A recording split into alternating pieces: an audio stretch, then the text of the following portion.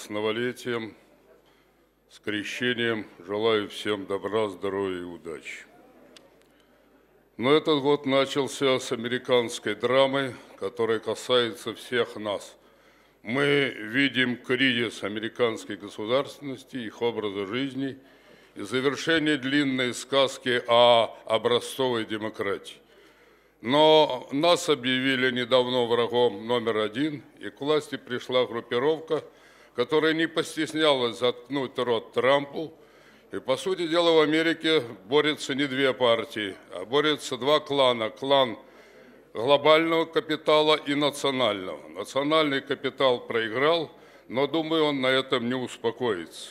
Мистер Глобал, по сути дела, торчит из всех карманов России. Он участвовал в формировании нашей Конституции, распродаже нашей собственности.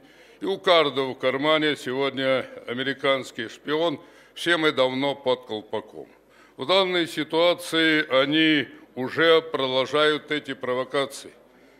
Я давно ожидал такого выступления от руковод... одного из руководителей. Сегодня Володин прямо сказал, чем нам пахнет от американской демократии, что приехал уже очередной их гонец из Берлина, очередной Гапон номер два, который будет поджигать внутреннюю ситуацию. Этого деятеля надувают уже много лет, по сути дела прекрасно, понимая, что за ним ничего нет, кроме организации российского Майдана. Но для нас он может быть весьма неприятным и катастрофическим. Я ожидал, что после прихода год назад правительства Мишустина будет изменен финансово-экономический курс, но весь блок остался в полном составе и серьезных изменений мы не видим. Три бомбы, которые тикали под зданием российской государственности, усиливают свои предупреждения. Первая – воровская приватизация, которая кровоточит из всех наших пор.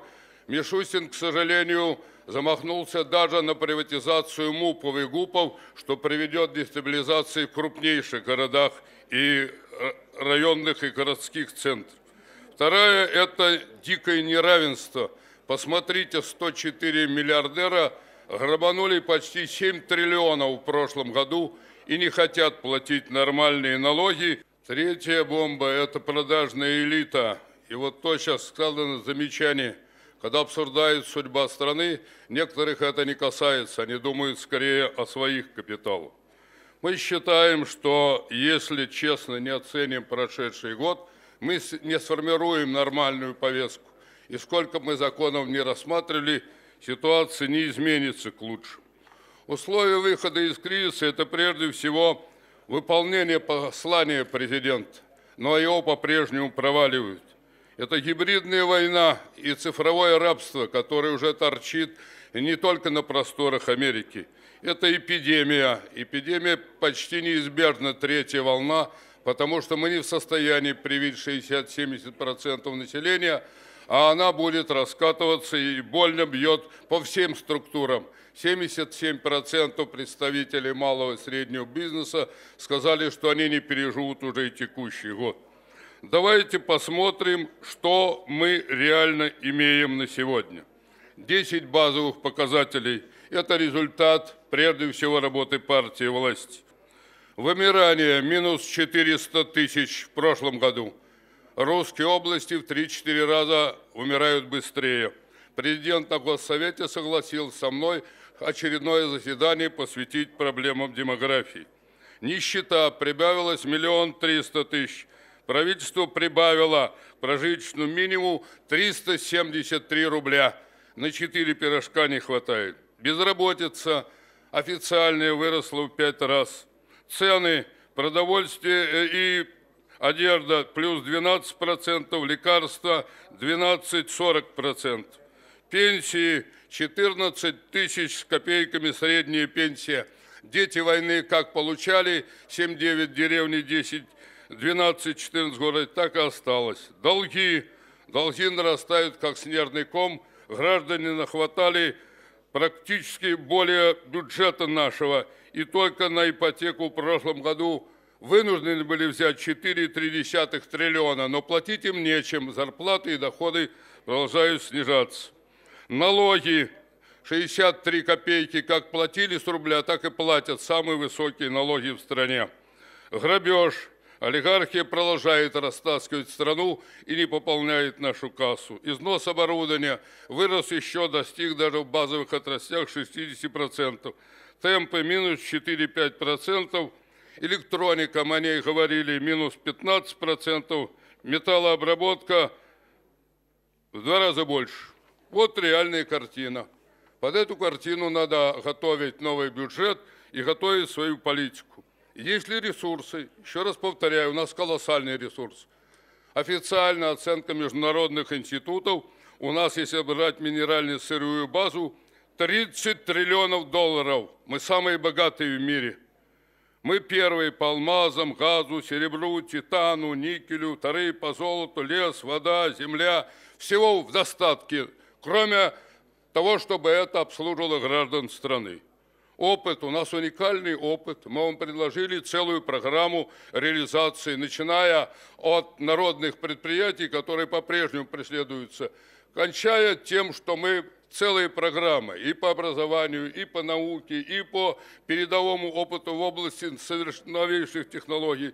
Мы провели великолепный семинар по поручению президента, посвященный проблемам народных предприятий и разумного сочетания базового капитала, высоких технологий и классной зарплаты, и суперсовременной социальной сферы.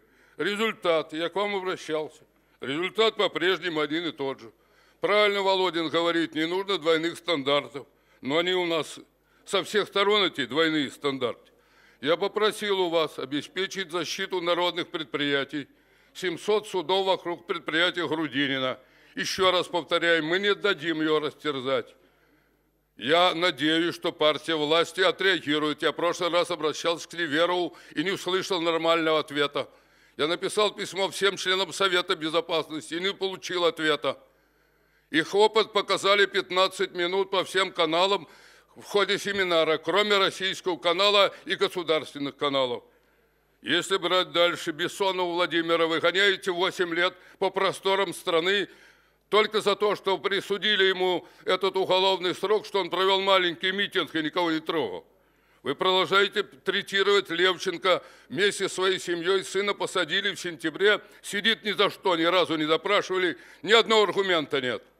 Синельщику вместе с штабом, протестных действий официально готовит акции протеста. Мы к вам обращались, не трогать Сергея Удальцова, уже один раз посадили и снова сажаете под надуманным предлогом. Сидит уже почти полгода Платошкин ни за что, ни про что. Я настаиваю на том, чтобы Дума официально рассмотрела вопрос, связанный с такой позицией. Наша программа налицо. Еще раз вам называем 10 конкретных пунктов, которые мы будем отстаивать в течение этого года. Национализация минеральной сырьевой базы. Она должна служить всем гражданам. Бюджет развития 33 триллиона – Коломейцев с вам на стол положили все наши предложения. Никакой проблемы нет его сформировать. Прогрессивный налог во всех странах есть, кроме нас. Почему мы топчемся на месте? Что касается госмонополий на спиртоводочную промышленность, по-прежнему травят, оказывается, 8 бутылок из 10, даже коньяка уже фальшиво. Прожиточный минимум 25 тысяч рублей, он должен быть у каждого, иначе страна будет и дальше умирать. Надо отменить эту людоедскую пенсионную реформу.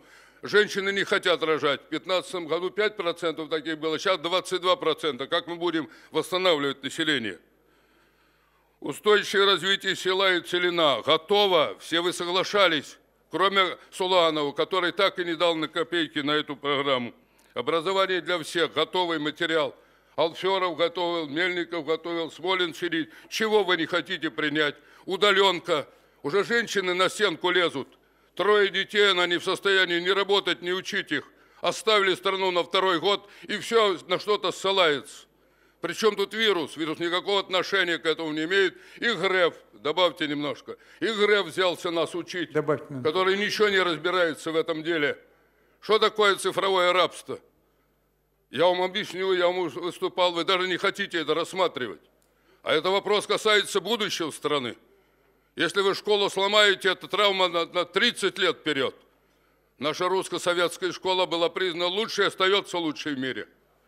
Я настаиваю на том, что мы рассмотрели все о гарантиях медицинского обслуживания. Гарантии должны быть. На остатках советской науки что-то сделали и в космосе, и в военном деле, и в том числе и в медицине, но это же никак не финансируется. Вы урезали даже и фармацевтику, урезали медицину, урезали не хотите делать. А как это будет развиваться дальше? И обязательно о духовном патриотическом воспитании молодежи. Без этого мы не в состоянии защищать страну в условиях гибридной войны. Ну и советую вам, сегодня в «Правде Советской России» напечатан большой наш доклад о условиях работы в гибридной войне. Посмотрите, он вам поможет. Я предлагаю наши Спасибо, Геннадий Андреевич.